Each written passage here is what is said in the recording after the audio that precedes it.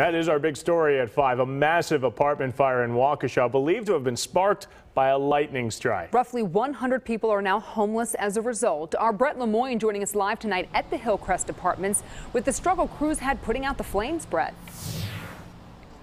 Yeah, and fire crews were out even late this afternoon trying to put out some of those flare ups. And you can see behind me now, crews are out uh, for a different reason, trying to board this place up. Mutual aid and off duty fire crews were called in to help early this morning. And you will see in a moment just how bad the damage is from up above. Just after 11 p.m. Thursday, the fire at this Waukesha apartment building burned and burned. It just went up one, two, three. In their initial assessment, investigators say lightning hit the roof during last night's storm, sparking the blaze. I never would have thought, you know, lightning striking our roof and 12 hours later we're sitting here homeless pretty much. CJ Willenzine has lived here for five years. He also does maintenance for the property owner.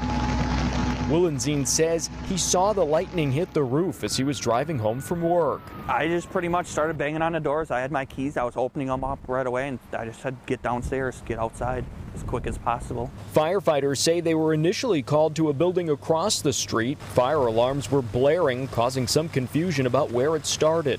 Witnesses believe the flames festered in the attic on Shepherd Court for several minutes before shooting up towards the sky. Obviously, the building is very unsafe right now. You know, we've got the flare-ups that are occurring. The, there's a lot of materials that's overhead that can drop on them. Officials say one person had to be rescued from the third floor. A firefighter was injured and one resident was taken to the hospital. Skyfox shows whole sections of the roof seemingly ripped off. As residents are let back in for a few minutes at a time to collect valuables, investigators remain hopeful a good portion of the 42 unit building is salvageable. I cannot think of the last time in Waukesha that we've had a, a fire related, a, especially a catastrophic loss like this caused by a lightning strike.